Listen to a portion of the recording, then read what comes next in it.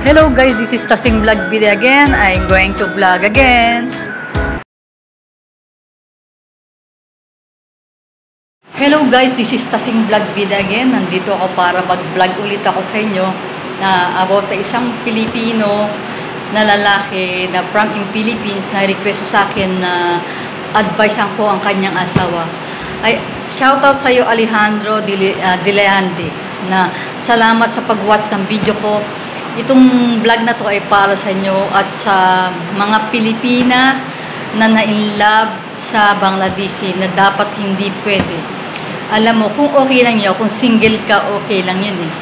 Eh, pero kung may asawa ka at anak sa Pilipinas, paano na yung mga anak mo? Katulad nung Shoutout sa iyo Alejandro at para sa, sa asawa mo ito, uh, ang hiling ko sa iyo, i-search, ibigay mo sa akin yung pangalan ng asawa mo, i-search ko tapos ma-advise ko. Uh, itong uh, this is vlog for all about the Pilipina na in love sa Bangladesh. Kung okay lang kung single ka, nakatulad ko, single ako, nag-asawa ko, single ako, di, walang problema, di ba? Ikaw katulad ng asawa ni Alejandro na na in love sa sa isang Bangladeshi, nagpunta siya, tingnan nyo, nag-abroad siya, yung asawa ni Alejandro, nag-abroad, nag-abroad siya para sa mga anak niya, sa asawa niya, para uh, kumita dahil sa anak niya. 'Di ba? Ang rason niya kaya siya nag-abroad para sa mga family niya, lalo-lalo ta pala. 'Di ba nakakaano 'yun, nakaka-emotional 'yun, 'di ba? Ang anak niya ay maliliit pa. Tapos bakit siya na-involved at na-inlove siya sa isang Bangladeshi? Bangladeshi? okay lang sana kung single ka eh. O kaya separated. Eh, may asawa ka sa Pilipinas. Di ba dapat isipin mo yung mga anak mo at maliliit pa? Dapat hindi ganon. Ito ay para sa iyo, yung sa asawa ni Alejandro at sa mga Pilipina na may asawa sa Pilipinas o kaya may anak sa Pilipinas, isipin yun muna yung yung asawa at anak. O kung may anak ka TV mo kasi may ilag ka sa Bangladesh, oo, sige, masaya ka, may ilag ka sa Bangladesh. Pero hindi mo rin masasabi ang buhay mo rito. Pero alam mo, maging practical ka, katulad ng in-advise ko kay, sa, kay King Kim Payong, sa si Michelle siya, nasa Singapore. Yun ang ina niya, may boyfriend siyang Bangladesh, pero nakinig siya sa advice ko na hindi niya, hindi siya pumunta rito sa Bangladesh o sa boyfriend niya. Inisip niya yung ano niya, Siyempre sabi ko, priority mo yung anak mo. Kaya yun, buti na lang nag-decide siya sa tamang desisyon. Katulad nitong asawa ni Alejandro. Dapat hindi niya ginaganon yung, ano, yung anak niya.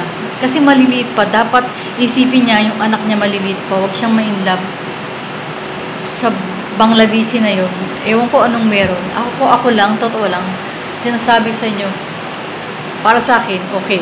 Husband is okay, good, responsible pero hindi rin masasabi namin na, syempre may financial problem din kami, katulad nang lumalaki na anak namin. Ayun lang maganda, mababait ang husband ko. Pero, nasi, nag-asawa ako, siya at saka ako, single kami, wala ang problema, walang hassle ba sa isa't isa, di ba?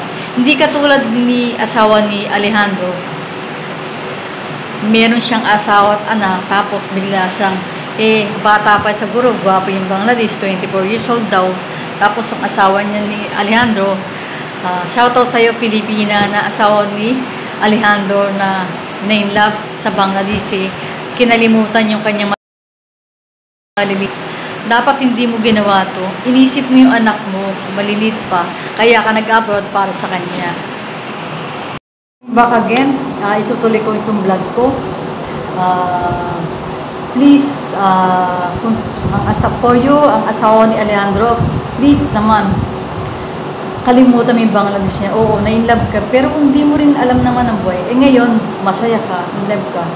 Hindi mo ba naisip na yung anak mo maliliit pa? Kahit man lang yung anak mo isipin mo, wag mo na isipin ang asawa mo. Kasi maliliit pa yung anak mo eh, di ba? Dapat hindi mo ginagawa yan. Kawawa yung mga anak mo, umaasa sa'yo, tapos bigla ka na ng love sa Bangladesh niyan, dapat isipin ko ang tama kasi malaki ka na. Yan dapat gawin mo kasi malaki ka na. Kaya ina-advise ko sa iyo na oh, in love ka. Hindi lahat ng tao kailangan pinaglalaban mo yung, yung anak mo sa Bangladesh na in love ka, dapat kalimutan mo yan eh. Dapat isipin mo yan mo, kawaway anak mo, di? Ikaw hindi mo nang aram na hindi ka sure, wow, may love ka, kaya punta ka rin sa Bangladesh, o ikasal ka rito. Alam mo, hindi mo alam ang buhay mo rito eh. Hindi mo sure na, ano, mamahalin ka talaga ng lalaki. At least yung anak mo, pag lumaki, mamahalin ka niya. Eh ngayon, siyempre, hanggang maaga pa, maliliit pa sila, sana isipin mo, para paglaki nila, hindi ka niya sisisipin. Shoutout sa iyo, uh, Alejandro uh. Salamat sa pagano mo. Uh, yun lang ma-advise ko. Kaya mga Pilipina, mga in love sa Bangladeshi, okay lang kung single ka, ituloy mo yan. Pero hindi rin natin sure yung yung future mo rito sa mga Bangladeshi Ban, swertihan lang ang pag-aasawa. Kahit ano yung ibang lahi, mapangasamba sa swertihan lang. Kasi may mga swerte, may mga hindi minamalas, siyempre may binubugbog. Depende din to eh. Kaya, bago kayo may love o in love ka, mag-isipan nyo muna. Okay lang kung single ka. Eh, paano kung may anak ka, o wag mo nang isipin asawa, basta yung anak mo, yun ang isipin mo. Siyempre, dapat priority mo yung anak mo. Yun ang importante. Kaya, yun, sa ngayon pa lang, mag-isip-isip ka na.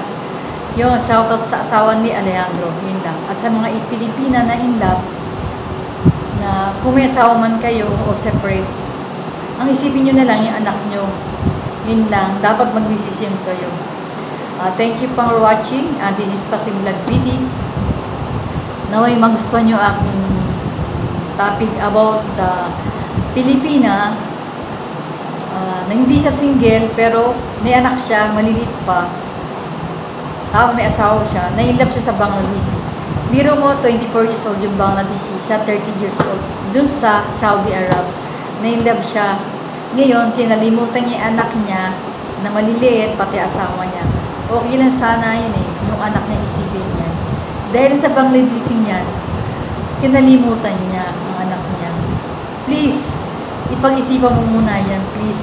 Kasi kawawang anak mo. At hindi mo rin alam, balang araw kawawa ka rin. Hindi mo alam kung yung Bangladesh na nag magiging yung boyfriend mo, mabait. So, una lang yung mabait eh. Balang araw in the future, hindi natin alam ang ugali. Kaya, ngayon pa lang, mag-isip-isip ka na para sa mga anak mo. Uh, thank you for watching. Naway magustuhan nyo aking vlog na this is Tasing Vlog Video again. Uh, don't forget like and subscribe my channel. Uh, naway magustuhan nyo aking advice. Thank you very much. See you again in my other vlog. Thank you for watching. Thank you for watching. This is Tasing Vlog Video again. Thank you for watching Tasing Vlog Video. Thank you.